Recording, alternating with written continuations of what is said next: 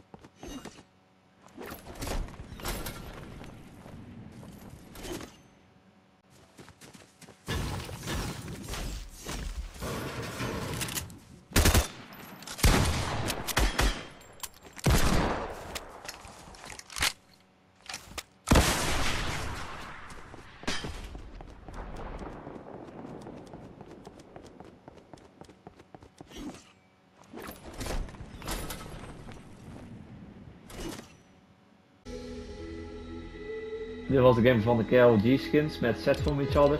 Dat deze skin, deze skin,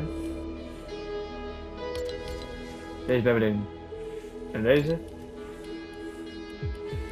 En deze rechts.